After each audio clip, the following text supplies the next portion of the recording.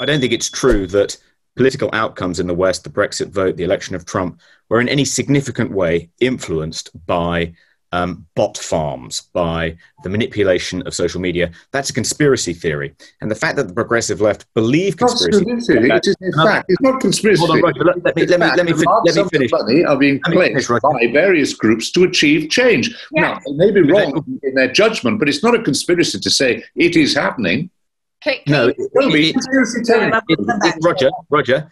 So I was I was prone to believe this, and I wrote something to this effect, reporting on this, saying, This is really interesting work, you should read this. An ex Google software engineer who was tasked by Google with looking into in depth whether uh, social media like Twitter, like Facebook, were being manipulated by bot farms, either in Russia or China, looked into it in great depth, said, There's nothing to it, Toby. Don't believe it. It's a conspiracy theory. It's Guys, a left. heard it here first, and Toby, Cambridge Analytica have no idea what they're talking about. Cambridge Analytica are just a conspiracy theory, guys. Toby Young has got the scoop for you today. For God's sake, seriously.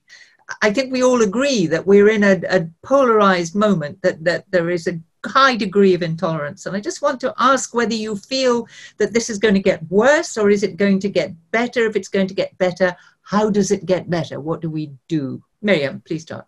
Oh, thank you. Um, so um, I think it's got to get. It's going to get worse before it gets better, uh, and I think we are slowly uh, reaching breaking point. In my opinion, I think that there's a growing uh, movement, uh, even among uh, the young people that um, Toby would uh, mischaracterize as generation woke, um, who who really do not identify with the polarization that's currently happening. That that, that don't necessarily agree with certain views, but definitely think that they should be heard and um, and find it quite uncomfortable that there's a situation now where there are uh, views that uh, are being uh, sort of marginalized to the point where they're no longer being allowed to express, particularly on debates that might be um, quite new, uh, quite um, important to uh, you know the, the, the, future of our society. And so I think that there that voice is growing. I see it growing, um, and I think that that's the voice that will eventually um, take the lead on this issue. And and what that lead is is essentially saying this: look.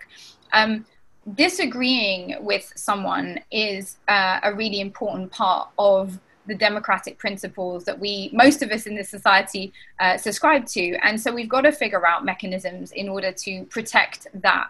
Having said that there are obviously issues that are going to be deeply uh, emotive. And maybe the question is and i've said this before in my work is that you know emotion is a fuel for change, but it isn't a framework. And the conversations we have to have are around the frameworks for change. So, yes, you're allowed to feel anger, you're allowed to feel sadness, you're allowed to feel enraged, but that can't be how you enter a conversation just like in your personal life when you're feeling super annoyed super frazzled is not the best time to go and speak to your partner about the issue that you know you're having a disagreement about right same goes for society. We're allowed to feel those emotions, but we need to find spaces in which those emotions are somewhat uh, placated in order to allow us to focus on the frameworks which can allow for a conversation that allows us to move forward. And I think there is um, contrary to what is uh, regularly uh, peddled on this issue, uh, a real recognition that it is voices on the margin which uh, which make society advance and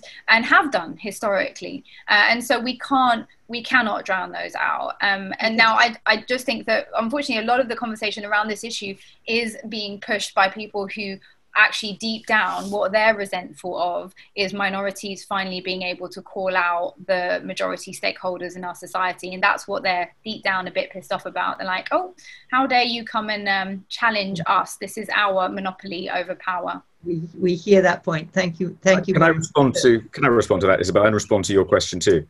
Um, just, just, just on the last point that Myriam made um, the curious thing is it isn't for the most part minorities um, uh, cancelling uh, white heterosexual middle-aged men.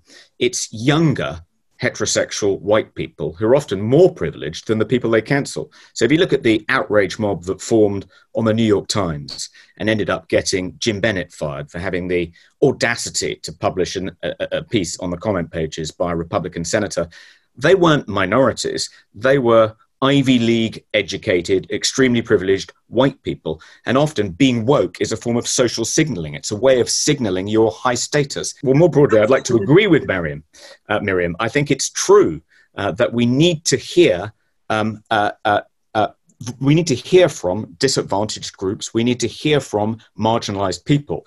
And the best way to hear from them is to stand up for free speech. The idea that there is a conflict between pale, male, and stale conservatives like me and minorities when it comes to defending free speech is a false binary, a false opposition. It's in all of our interests. And the reason I say that is if you look at the history of the civil rights movement, of the gay rights movement, uh, even more recently of the trans rights movement, um, all of them have depended upon the hard won uh, battles uh, fought by organizations like the ACLU in the 1960s to defend freedom of speech. The way to become less polarized is if we become more tolerant, more patient with those who we disagree with. Don't try and cancel them, which I'm afraid is okay. Generation Woke's go to reaction. Let's listen to each other. Let's stand up for the right to free speech and bring everybody into the conversation. Roger, I want to bring you into the conversation. You've talked about uh, the need to return to tolerance or the need to have a tolerance of views and, and not go to ad hominem criticism. How do we do that in this in this polarized moment? Well, I think that you see, I, I really, I could, if I'm being optimistic in this terrible situation with COVID, I would say what COVID has actually demonstrated is that none of us is special, that we're all together in this to a degree, some people can protect themselves with wealth a bit more, but not much. And I've noticed around and maybe a much greater sense of community, paradoxically, when you can't meet.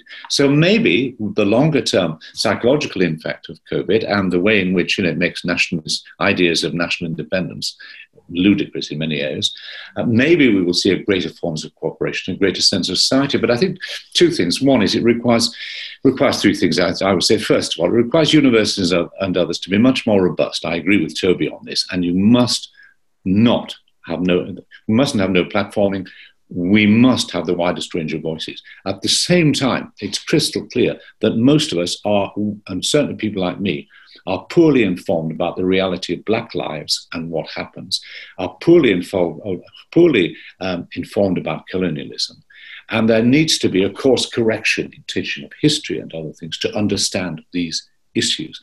And I do think the third thing is that organizations like the BBC, which has flaws, must be ultimately protected as a place where you can have investigation before you have outrage. I mean, when Toby's going on about certain statistics about black white, this oughtn't to be a matter of debate. It ought to be something that can be discovered because it's a fact. And when discovered, we should then look at possible wider explanations for the event. But we shouldn't be arguing backwards and forwards that if he says it, it can't be true because he's white, or they say it must be true because they're black. Surely there's still a vast role for sensible, straightforward journalism to establish the facts about and then we, then we disagree about causes, then we disagree about solutions, but we don't spend our time disputing facts. But isn't that one of the characteristics of this of this kind of polarization? The alternative facts argument. After all, we don't disagree. We don't agree on the facts.